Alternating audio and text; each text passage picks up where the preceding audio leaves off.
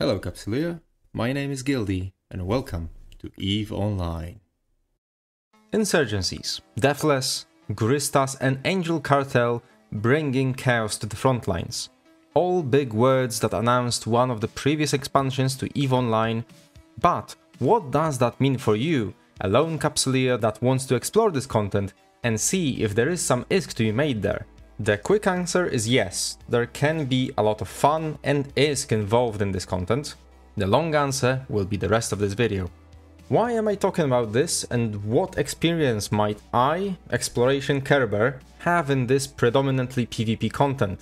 I am a member of Astral Acquisitions Inc. corporation which after Insurgencies got introduced, was the first to put a scratch on the uncontested streak of pirate victories being the first ones to suppress one of our home systems to level 5 and securing it from going lawless.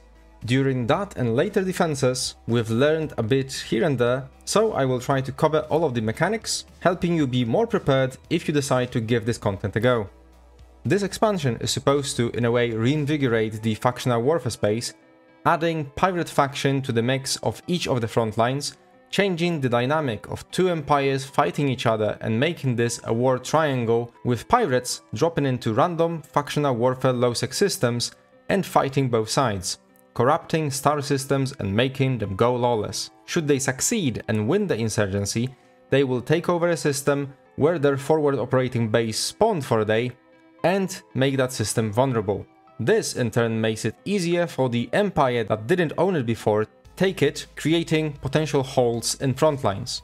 Capsuleers have varied opinions on success of this expansion, but I will be sharing my opinion in a later video. Pirates drop into their insurgencies by having a forward operating base spawn in a random system with a life-sustaining planet. In the past, this was completely random, which was problematic because there was a quite high chance, at least on the Calmil Galmil frontline, that the fob will spawn deep into Caldari space, their rearguard systems. This made for a complete lack of interest from Caldari militia, who would just ignore the insurgency and once it was done, secure the vulnerable system right away. Now there is a slightly higher chance that the fob will stick closer to frontline systems, making it more interesting, putting higher stakes at current frontline that can have a new hole poked in it if pirates are not dealt with.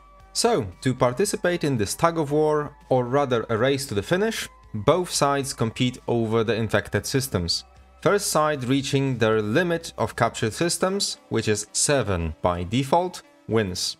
However, each time one side wins, they get either plus 1 system to win over next time, or if their enemy faction had over 7 systems to capture, they will have one less system to run next time. This is called an ambition modifier and was introduced a little bit later into the Havoc expansion. You can see that represented on the screen right now. The Angel Cartel now needs 17 systems to win. If they win, they will need another one, making that 18. The maximum that would need to be captured is 20, which is when the ambition modifier caps out. If they lose, they will need 16 during the next insurgency, while the militias still need just 7 systems. Then, if you zoom in, each system is part of a smaller campaign. Militias and pirates fight over same sites which are separate from the regular factional warfare ones. They all come in in Advanced 1 or Advanced 5 flavor, so any type or level of ship can jump into them there is no restriction for pirate or tech 2 or free ships entering. Each side also has their own progress bar in the system they are fighting in, and if pirates hit their 100% first, the system goes lawless. I will cover the consequences of systems going lawless a little bit later. This, in theory, does not block the empires to still gain their 100% in a system and also count it towards their win. If empires get their 100% first, Pirate can only reach stage 4, blocking them from getting 100% in their system. To reach each of the levels of corruption or suppression, each side of the conflict needs to reach the following suppression or corruption levels. 10% for stage 1, 20% for stage 2, 40% for stage 3, 70% for stage 4, and 100% for stage 5. Of course, Progressing through the suppression and corruption triggers different effects on the system separate for each side of the conflict. For pirates, reaching stages of corruption will result in the following effects. Stage 1, pirate PvP loot drops go up to 7.5% total bonus. Faction Navy and Criminal Police NPCs don't spawn in HiSec, so people with low security status won't get chased. Stage 2, Pirate PvP loot drop bonus increased to 15%. Roaming pirates spawn in systems, and they will attack people without pirate faction standings even if you are not enlisted in Empire factional warfare. They can have special named rats in the waves that have a chance of dropping an item that Empire militias can exchange in their headquarters systems for loot cans. The waves get bigger with each subsequent corruption stage. Stage 3 Pirate PvP loot drop bonus increases to 22.5%. This stage is crucial for the insurgency mechanic, as the moment systems hit stage 3 corruption, the corruption will either spread to a neighboring system that is next to the corrupted one, or if it's not possible, to any system neighboring the insurgency. Stage 4, Pirate PvP loot drop bonus increases to 30%, all players who are in Pirate Militia gain a plus 2 AU per second warp speed bonus. And stage 5, Pirate PvP loot drop bonus increases to 37.5%. And then sentry guns in lowsec will no longer respond to players who get a suspect timer in their presence and will ignore all criminal timers in their presence. Players can now use interdiction sphere launchers, warp disruption field generators, bomb launches and defender launches. This turns it into technically nullsec. Highsec on the other hand becomes lowsec because attacking ships, structures and drones is now possible without a criminal timer and Concord response. Concord will only respond to capsule kills or assisting someone with a criminal timer in the system, which also means assisting someone that has a limited engagement timer on, which is kind of weird attacking people in lawless highsec will trigger kill rights the moment you aggress someone who is not a suspect, meaning that this mechanic stays the same as it is in regular highsec. Systems affected by the stage 5 of corruption are displayed with an upside down triangle and are given a lawless label in the route overview. This, especially for highsec corporations that lived around factional warfare space for years, can be dangerous as some pirates have a real liking to burning down HiSec, and Lawless HiSec allows them to bash stations without having to go through any war dec mechanics. On the other side, we have the Empire Militias and their bonuses. Stage 1 Increased bounties from NPCs and security status gains up to 5% of total bonus. I kind of do not understand this one, as the pirate rats you shoot during insurgencies have no bounties and I don't think anyone enlists to go ratting. Stage 2 Bounties and security status bonus up to 10%. Increased Empire factional warfare militia gains from running sites by 5%. This compensates for, at least for now, Pirate LP being worth more because you get more and more Empire Militia LP for the same sites with each stage you reach. Stage 3 Bounty and security status bonus up to 15%, increased Empire factional warfare militia gains from running sites by 10%, corruption gains for the system are reduced by 30%, which is a big one at slowing down pirates.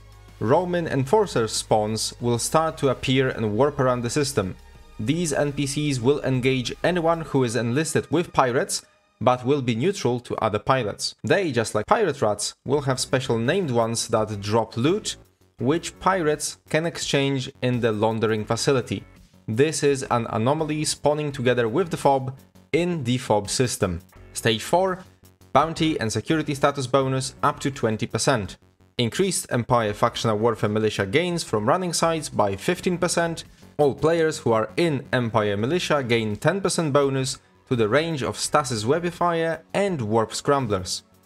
Stage 5 Bounty and Security Status bonus up to 25%, increased Empire Factional Warfare Militia gains from running sites by 20%, Elite Sentry Guns will be deployed by the Roman Enforcer NPCs. These sentry guns are vastly more powerful than the regular sentry guns, including ECM and target painting effects, in addition to vastly increased damage per second. These sentry guns are also immune to the sentry gun disabling effects from Corruption 5. And also, as I said before, this stage stops solar systems from progressing or gaining corruption after corruption level 4. As I mentioned, end of insurgency happens when one of the sides gets their target number of systems to 100%. This is not the whole mechanic though, because first of all, Empire militias will have to, once they reach their target level, bash the fob, destroy its shields, and then after a timer, come back to break the armor and hull. Pirates need to only finish their systems up, and it immediately announces their win. If the insurgency goes on for too long, which is around 2 weeks, a draw is announced and despawning starts. The moment a result of an insurgency is announced, both sides receive extra ISK depending on the contribution, however, the payout is not massive and you get it only if you did not retire from the factional warfare during the insurgency. If you retire, all of your progress is lost, even if you re-enlist. Insurgency does not disappear immediately. It will linger in the systems for the next 24 hours since a result was announced, which means that lawless systems stay with that status for longer. To be completely safe, give it 24 hours and then wait till the next downtime, as there were reports that in LowSec, even after notifications of insurgency were gone, people were still able to drop bubbles on gates, making it an unannounced nullsec inside of LowSec. As I mentioned previously, you can get extra loot apart from just LP and loot from PvP fights you get into during Insurgency. On Empire side, destroying special named pirate rats has them drop data sequences. You can now see me exchanging those in Onamon. In order to do it, you need to have large collidable objects on your overview, warp to the facility, and exchange sequences for loot boxes. You do not need to be enlisted to exchange those, and the loot you get from those varies from faction ammo through BPCs of faction ships to mutaplasmids for Vorton projectors. Decayed ones being super cheap, going for around 187,000 ISK at the time of this recording, while the Gravid ones go for 46 million ISK. In the next video in this series, I will go over the most common types of sites you will encounter, what do you need to do to complete them, how much do they contribute to the insurgency progress and how much do they pay out.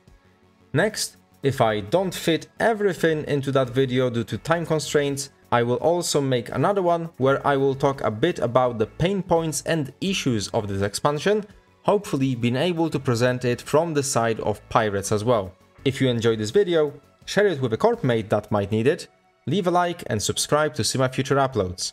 If you are interested in what I will talk about next, my videos go up every Sunday. And if we never see each other in space again, Capsuleer, fly safe.